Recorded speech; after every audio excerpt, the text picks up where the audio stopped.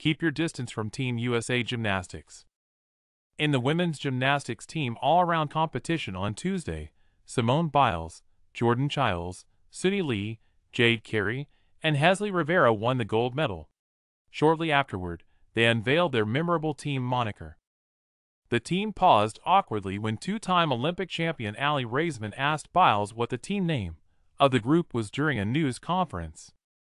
The group could be heard murmuring, Don't say it, don't say it, before Biles finally said, I'm not going to say it. Biles first revealed the acronym, FAFO, but later revealed its actual meaning. The audience chuckled as Biles said, F, K around and find out. The ladies gave no further explanation for choosing the audacious nickname. The USA gymnastics teams have been referred to as the Fierce Five, the Final Five, or the Fighting Four at previous Olympics. Last month, the group revealed to Today that they were still in the process of choosing a moniker, rejecting names like Phenomenal Five and Fearless Five. At the time, Biles stated, I feel like it has to be a little bit more younger, hip. Question the TikTokers. They'll come up with something. But the bold selection this year appeared to be a perfect fit for the resilient bunch, who gave it their all on the dance floor on Tuesday.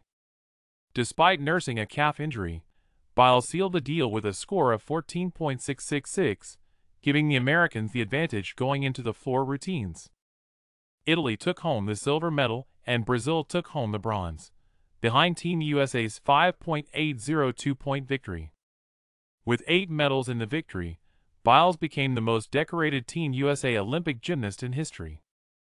Even with this incredible achievement, internet trolls managed to find something negative to say.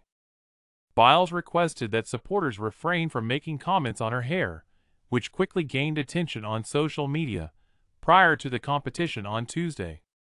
Please don't come after me over my hair. Using a battery-operated fan during the 45-minute bus ride, she posted a video to her Instagram account, captioning it, IT was done, but bus has NOAC and it's like 9,0000 degrees. I'm going to hold your hand the next time you make a comment about a black girl's hair. Just don't. She said in a report that followed. Many admirers defended the gymnast despite some criticizing her for sporting an updo that was carelessly tied. One fan said on X, If one more person asks why Simone Biles' hair is messy, she is quite literally flying and flipping in the damn air. Another fan wrote, People are worried about Simone Biles' body type and hair while she is out here making history.